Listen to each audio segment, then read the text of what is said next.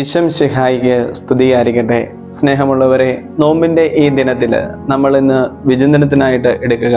വിശുദ്ധ പൗലോസ്ലിഹ റോമാക്കാർക്ക് എഴുതിയ ലേഖനം ആറാം അധ്യായം പതിനഞ്ച് മുതൽ ഇരുപത്തിമൂന്ന് വരെയുള്ള തിരുവചനങ്ങളാണ്. ദൈവത്തിന്റെ ദാനമായ നിത്യജീവനെ കുറിച്ച് പൗലോസ്ലിഹ നമ്മളെ പഠിപ്പിക്കുകയാണ്. ഈ നോമ്പ് കാലഘട്ടത്തിൽ പരിത്യാഗ പ്രവൃത്തികളും പുണ്യങ്ങളും ഉപവാസവും പ്രാർത്ഥനയും നടത്തുമ്പോഴും നമ്മുടെ മനസ്സിൽ സൂക്ഷിക്കേണ്ട വലിയൊരു ചിന്തയുണ്ട്.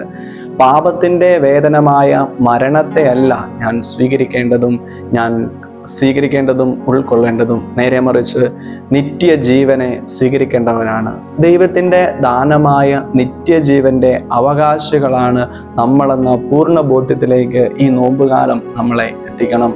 പൗലോസ്ലിഹ തെസ്രോണിക്കാർക്ക് എഴുതിയ ലേഖനത്തിലൂടെ പഠിപ്പിക്കുന്നുണ്ട് ദൈവം അഭിലഷിക്കുന്നത് നിന്റെ വിശുദ്ധീകരണമാണ്. അശുദ്ധിയിലേക്കല്ല വിശുദ്ധിയിലേക്കാണ് ദൈവം നമ്മളെ വിളിച്ചിരിക്കുന്നത്. ഈ നോമ്പിൽ ഓരോ ദിനവും ഈ വചനം നമ്മളെ ഓർമ്മപ്പെടുത്തണം.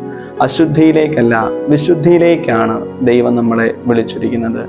ദൈവിക ദാനമായ നിത്യജീവനെ സ്വീകരിക്കേണ്ടവരാണ്. ദൈവിക ദാനമായ നിത്യജീവന്റെ അവകാശികളാണ്. അത് വിലപേശലല്ല. ദൈവം എനിക്ക് പ്രതിഫലമായിട്ട് തരുന്നതല്ല. ദൈവത്തിന്റെ സൗജന്യ ദാനമാണ്. യഹൂദ റബ്ബി പറയുന്ന ഒരു കഥ ഇപ്രകാരമുണ്ട്. ശിഷ്യൻ ഗുരുവിനോട് ചോദിക്കുക ഈ ജീവിതത്തിൽ ഞാൻ എന്താണ് ഏറ്റവും കൂടുതലായിട്ട് ആഗ്രഹിക്കേണ്ടത്? റബ്ബി അവനോട് പറഞ്ഞു നീ മരിക്കുന്നതിന് മുൻപ് പശ്ചാത്തപിക്കണം. അതാണ് ഏറ്റവും വലുത്. അപ്പോൾ ശിഷ്യൻ ചിരിച്ച് ഗുരുവിനോട് ചോദിക്കുകയാണ് എന്നാണ് എന്റെ മരണ ദിവസം അതെനിക്കറിയില്ലല്ലോ. അപ്പോൾ ഗുരു പറയുകയാണ് മരണ ദിവസം നമുക്ക് അറിവില്ലാത്തത് കൊണ്ട് എല്ലാ ദിവസവും നീ പശ്ചാത്തപിക്കണം. നാളത്തേക്കത് മാറ്റിവെക്കരുത്. എല്ലാ ദിവസവും പശ്ചാത്തപിക്കണം. അതുകൊണ്ടാണ് വിശുദ്ധ അഗസ്റ്റിൻ പഠിപ്പിക്കുന്നത് നിന്റെ പാപത്തേക്കാൾ വലുതാണ് ദൈവത്തിന്റെ കാരുണ്യം. നിന്റെ പാപത്തേക്കാൾ വലുതാണ് ദൈവത്തിന്റെ കാരുണ്യം. ആമേ ദൈവം നമ്മളെ അനുഗ്രഹിക്കട്ടെ.